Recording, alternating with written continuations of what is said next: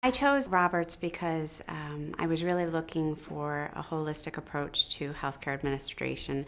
I am a registered nurse and really wanted to also have the business side as well because I really like the operations of a healthcare organization.